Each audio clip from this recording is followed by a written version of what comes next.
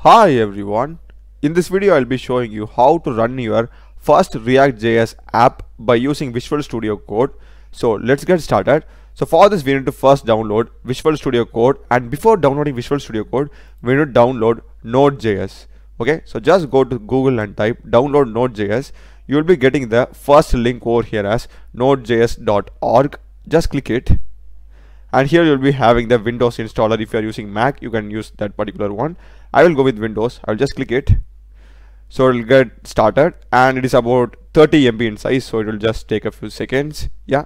So once it is downloaded just click it and open when done. So you'll be getting the node.js setup over here the dialog box. Just click on next and just click on I accept. You can just like read it through and again click next. And this is the default location where node.js is going to get installed. If you want you can change it. I will like keep with the default one and i will click next. So these are some of the things that will be like automatically installed. So you can just like leave it to default and just click on next. Yeah so this is fine. Just click next again and click on install. So once the installation is complete just click on finish. And if you just go and search for node.js you'll be having this node.js app. So once you're done installing Node.js, we need to add Node.js path to the environment variable. So just search for Node.js, you'll be getting this Node.js app and here you'll be having option called as open file location. Just click it and you'll be having the programs and here you'll be having Node.js. Again right click it and go to open file location. So you'll be getting the path where you have installed Node.js which is local disk C, program files and Node.js. Just click here and copy this whole path and after copying just go to search again and type environment you'll be having the edit the system environment variables option just click on open. And in this you'll be having this environment variables. Click it. And under system variables you'll be having path. Just click on path and then click on edit. And here you can see right C program files node.js has been automatically added. So if it isn't automatically added you just click on new and paste this path and click on ok so just check if this path has been added already okay. So once you're done adding this path close everything and just go to search and open command prompt so I will just zoom in a bit. So type node hyphen v. So here you can see that we will be getting the node version here. This means that we have successfully installed node.js so also type npm hyphen v. Yeah so we will be also having the npm node package manager which allows us to install many packages like libraries and stuff. So now we are done installing with node.js and yeah next thing we want to download is our IDE which is Visual Studio Code. It is more suitable for working with React projects okay? It's suitable for working with all programming languages anyway.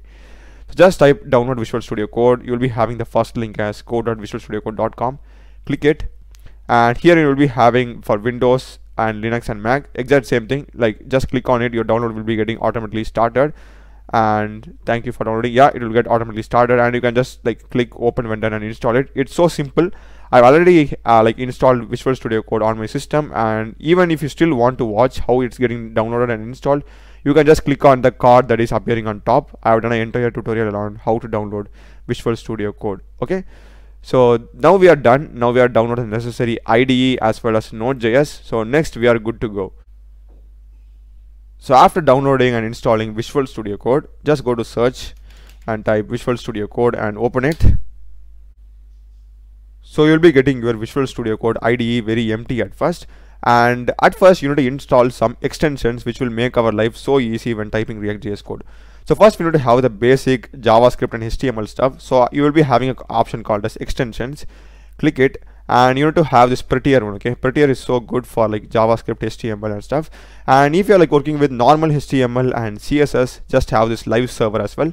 Just type search for live server over here and just click on so let me just show you how uh, you'll be having an option like this. And in case if you haven't installed a particular extension you will have install option over here. Just click on install it will get automatically installed. So here we will be having react okay? So we'll just search for react and we'll be having one known as react code snippet. Yeah simple react snippet. Yeah this one. So this is so good it will like automatically create us create like boilerplate code. So here you can see right if just if we type import we'll be getting the entire import and if we type rfc this will create as an automatic function for us. So this is super cool. It has like around 2.4 million downloads. So this is a seriously a great extension to be honest for react. And if you want you can also download this one this es7 plus react redux react native snippet. I will install this one as well. This has like 7.3 million okay? That's a crazy number.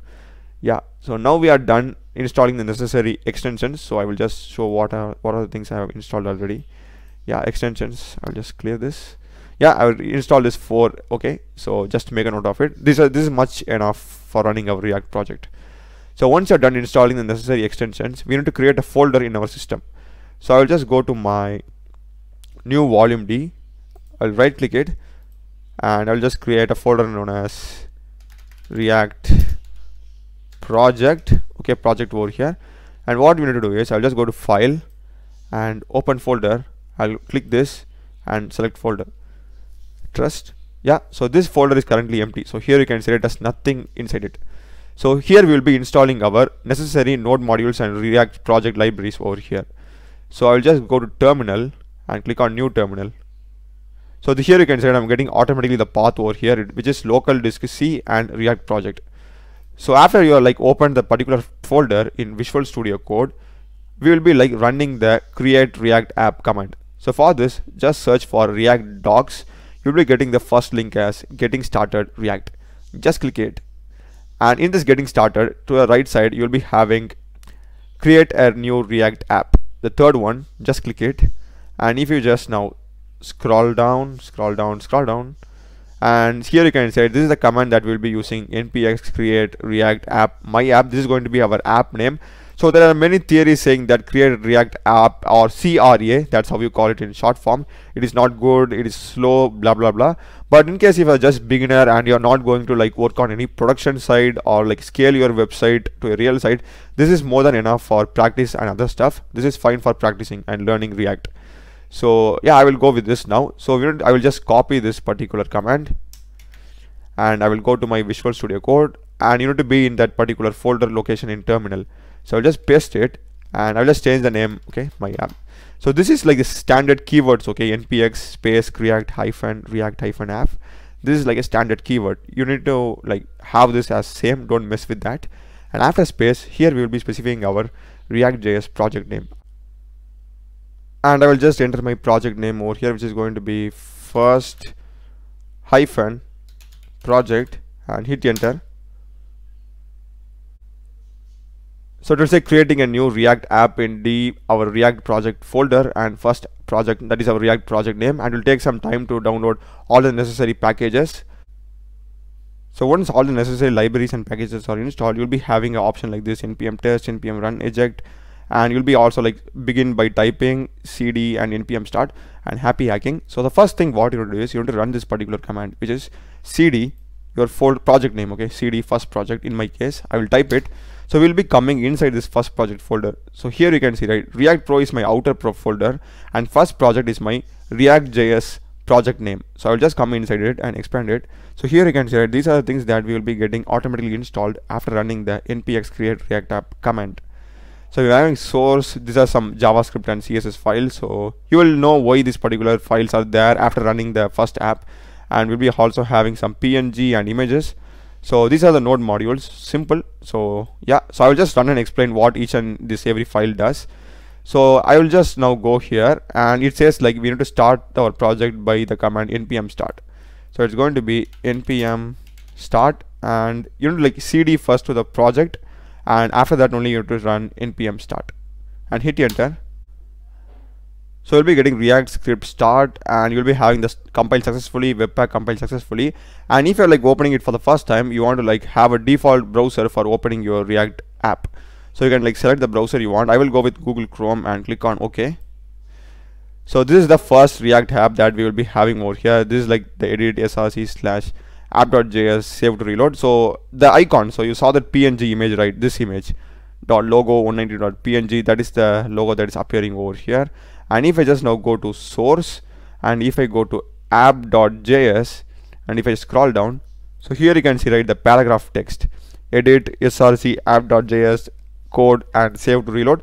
So this particular text will be appearing over here. The exact same text okay?